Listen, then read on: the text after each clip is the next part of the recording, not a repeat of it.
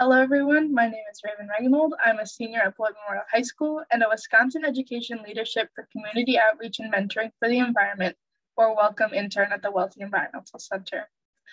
My GLOBE project is on macroinvertebrate communities in different nitrate levels across the Rock River watershed.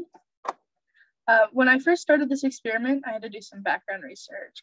So we found that nitrate levels are a common pollutant in urban water systems, in 2017, the EPA found about 284 water systems in Wisconsin exceeded the standard nitrate level by 10 parts per million.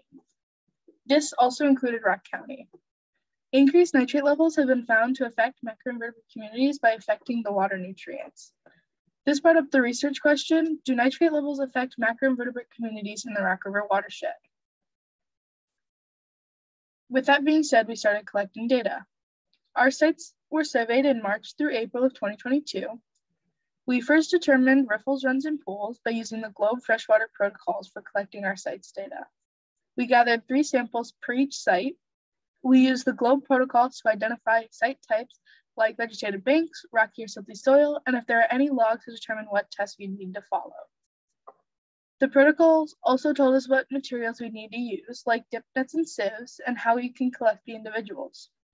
We tested nitrate levels using Aquatech nitrate strips, we took three tests per site and calculated the average by parts per million.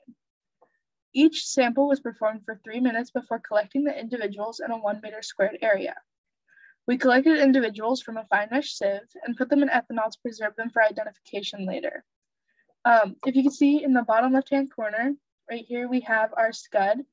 He was one of the individuals we found. We also have the dragonfly larvae, and we have the cookie-headed mayfly. And this picture right here is just a picture in the field where Darien and I were collecting individuals out of the sieve to put them in ethanol. Here's the bottle of ethanol to preserve them for later identification. Um, we identified them using macroinvertebrates.org and the Pond Life book. We identified them by class and their pollution indicator status. The pollution indicator status ranges from sensitive to tolerant, the more sensitive classes are EPT, or Ephemeroptera, Plecoptera, and Trichoptera. The more tolerant ones are Diptera. So for our results, we found that Springbrook had a greater number of individuals than any other site. They also had the most orders. So if you can see here in figure one, uh, Springbrook has many different colors, meaning it has many different orders. And down here in figure two, you can see that it had more individuals. Odonates were only found at the nature of the confluence. Looking back at figure one, this purple or this pink strip up here is their odonates and it's only found in nature of the confluence. Most individuals were found in the Diptera order. All of these red um, squares right here, the Diptera order, which we had the most of, those are true flies. At nature of the confluence, there was a higher nitrate level that could have resulted in less macroinvertebrates.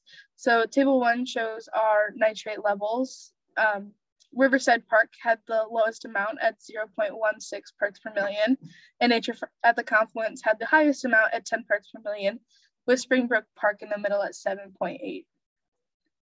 Uh, River and Riverside Park and Springbrook Park both had less mid-range pollution indicator status than Nature at the Confluence, uh, in figure two, it shows here that Riverside and Springbrook had less mid-range, these are red ones right in the middle, than Nature at the Confluence that had more.